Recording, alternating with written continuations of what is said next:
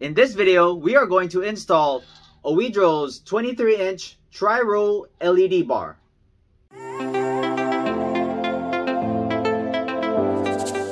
Hey guys, welcome back. My name is Greg and in this channel I create product reviews, mods, install guides of cool car accessories and gadgets. It is made of high quality aluminum alloy, which is waterproof and anti-corrosive. It's rated at IP67, waterproof and dustproof. Comes with these adjustable brackets up to 45 degrees, stainless steel nuts, bolts, and washers. Three rows of LEDs with a 30 degree angle of spot and flood combo beams. Aluminum housing with a fin style heatsink for faster heat dissipation. Produces up to 43,000 400 lumens. Color temperature is 60K kelvins, pure white. Working temperatures are between negative 40 and 85 degrees Celsius. It comes with your wiring harness, which is compatible with any lighting accessory up to 300 watts. Heavy duty 14 gauge wiring covered in waterproof thermoplastic PVC jacket. It's 9 foot long with a 30 amp blade fuse, 12 volt 40 amp relay, and an on and off illuminated switch. If you're interested in this product, I'm gonna leave the product link in the description below. So first, I wanna mount these brackets. I'm gonna go ahead and use the outer ones. Washer, bolt, and the nut underneath.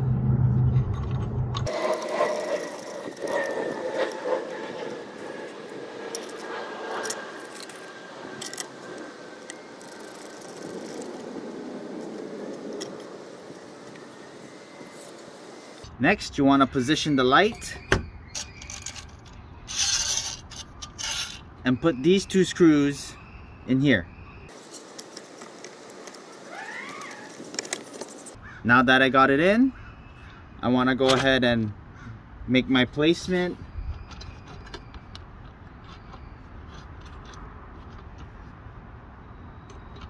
Looks like I would like it the furthest back as possible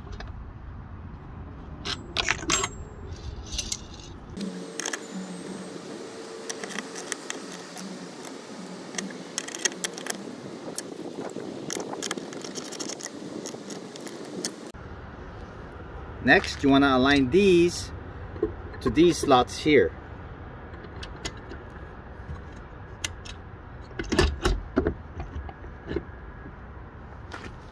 Okay, now that that's aligned,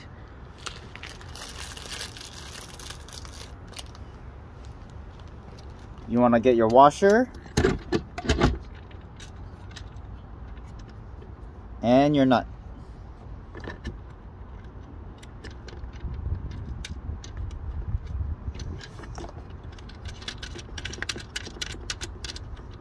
And just hand tighten it. All four. Now that I got how I want it angled I pulled the whole screw out and that way I can tighten this one as it's hard to reach with it mounted on. So I got my angle pulled the bracket the whole bracket out and then go went ahead and tightened the screws Then you mount the whole thing back together. Make sure everything is nice and centered. Now we're gonna go ahead and uh, wire this. I'm gonna go ahead and feed it through the grill, the front grill, and in to my engine bay. You wanna get yourself some automotive wire. I got a 16 gauge, which we're gonna run through here behind the radiator and into our switch assembly. I'm not going to use the wiring harness as I already have a switch box in the vehicle. So I ran the wire underneath this air intake you want to make sure it does not touch the radiator so you want to reach in here and make sure you zip tie it and it'll come down through here.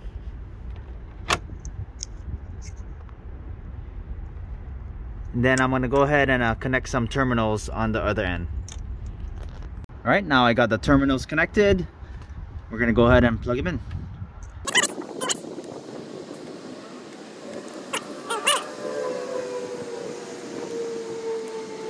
Now we go ahead and uh, open up our switch control box and I'm gonna go ahead and connect it to spot number one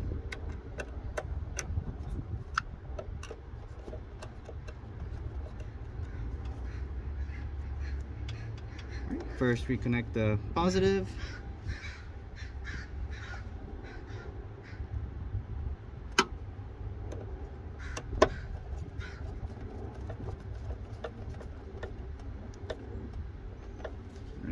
then the negative.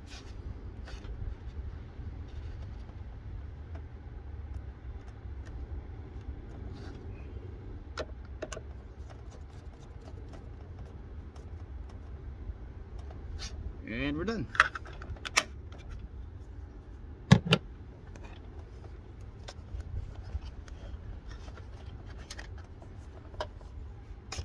Here's your end result.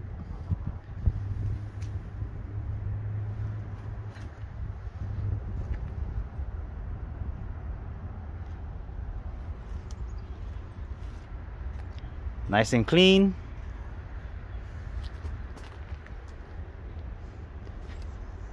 it does bounce around just a little.